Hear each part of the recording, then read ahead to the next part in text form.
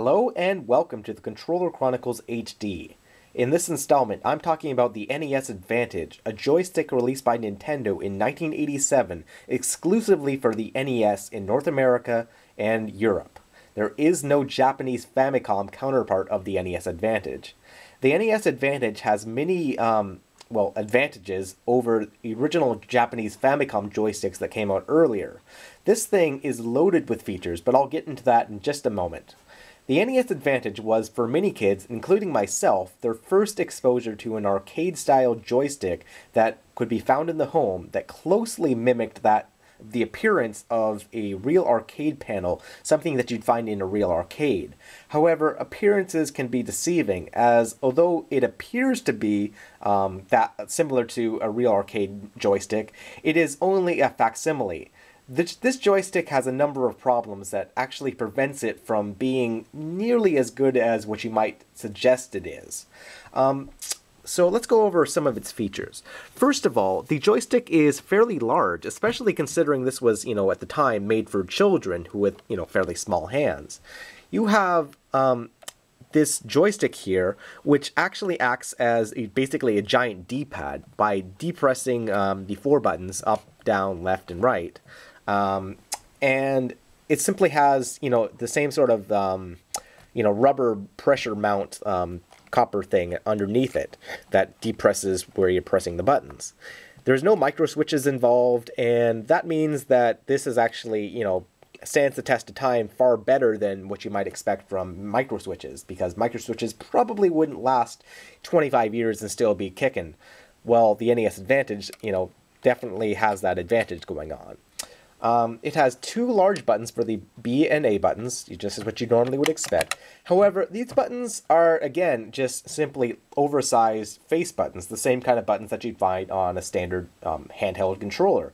Uh, the NES 004 controller, for example, would have basically the same kind of buttons, except these were far bigger. However, there is a problem with this though. Again, by not using micro switches, these buttons actually feel a little bit loose in their housing, and if you depress the button by pressing the button on the edges, it is actually possible for you to get the button stuck. And then when the button gets stuck, it has to you have to depress it again somewhere in the middle to get it to click back in place. This is the major disadvantage of the NES Advantage.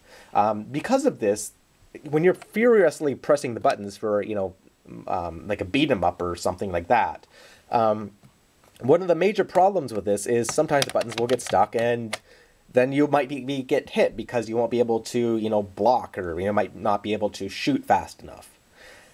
However, the thing does have a number of other cool features. For one thing, it has built-in turbo buttons, which can be enabled by simply pressing them down, which then they press down, you can clearly see which button has been, in, been turbo enabled.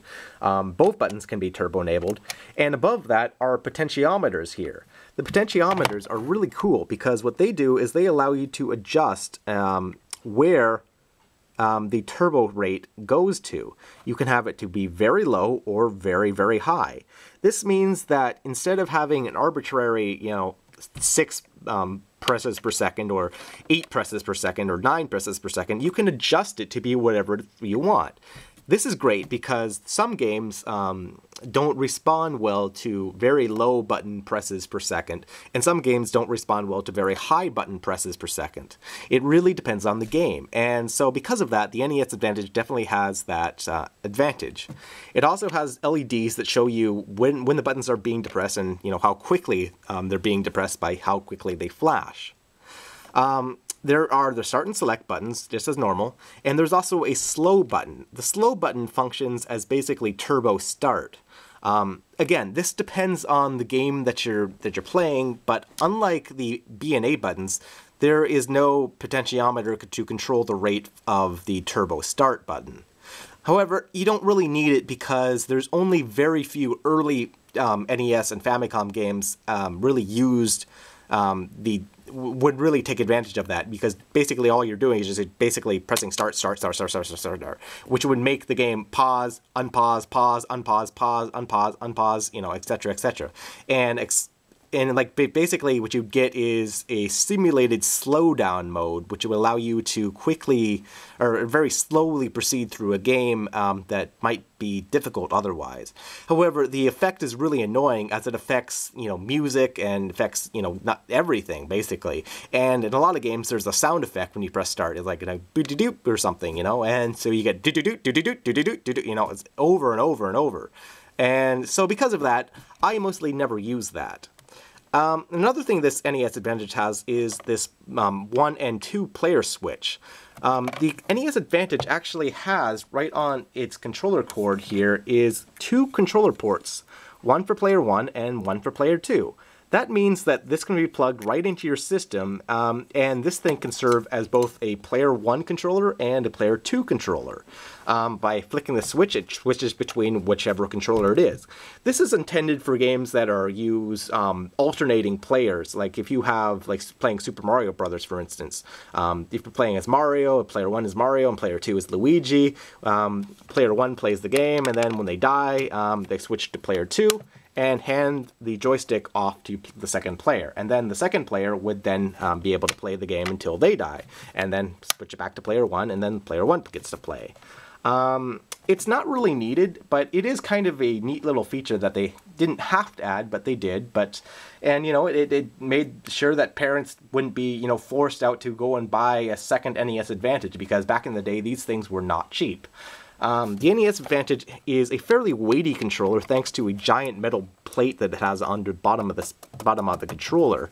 This means that this thing won't tend to move around too much, um, especially on a coffee table or anything when you're pressing, when you're applying force down downwards, especially, you know, because you're not going to be like shaking it from side to side because, you know, not a motion controller or anything like that. Um, but overall, I think the NES Advantage is probably one of the weaker joysticks of the 80s.